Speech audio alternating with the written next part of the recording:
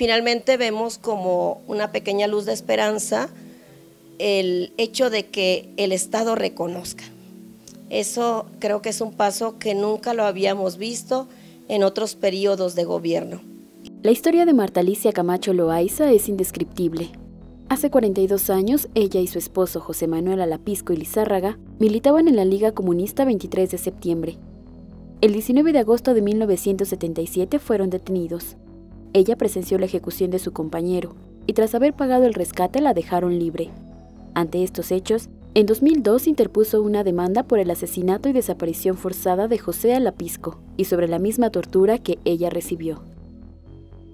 Eh, y han sido procesos de muchos, de muchos años en diferentes instituciones.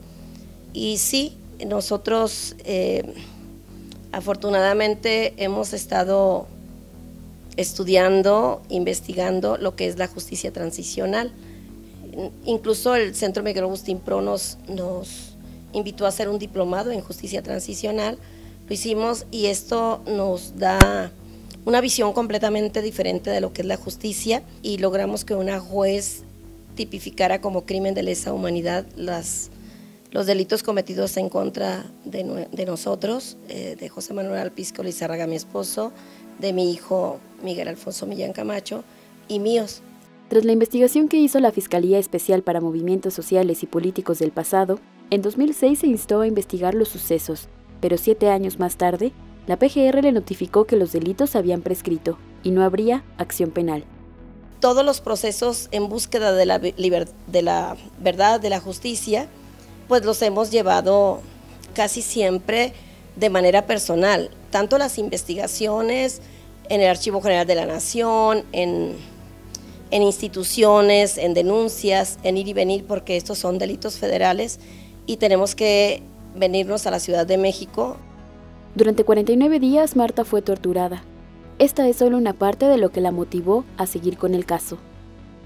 Yo hace aproximadamente dos años me quitaron un tumor que pesó más de un kilo y lo tenía entre corazón, pulmón, tráquea y vena cava. Y esto fue producto de los culatazos cuando, que me daban cuando estuve desaparecida en la zona militar de Culiacán, Sinaloa y te digo, nada paga todos, todo el sufrimiento y todo el, desgaste físico, emocional, económico, social. Hablamos de torturas corporales, también hablamos de, torturas emocionales. Eh, es increíble, ¿no? Cómo tenemos que pasar procesos muy, muy, muy dolorosos, muy largos, y pues que quieras o no nos ha afectado. Marta recordará el 23 de septiembre del 2019 como un día clave ante el caso. El gobierno de México le ofreció una disculpa pública y reconoció la responsabilidad de los hechos.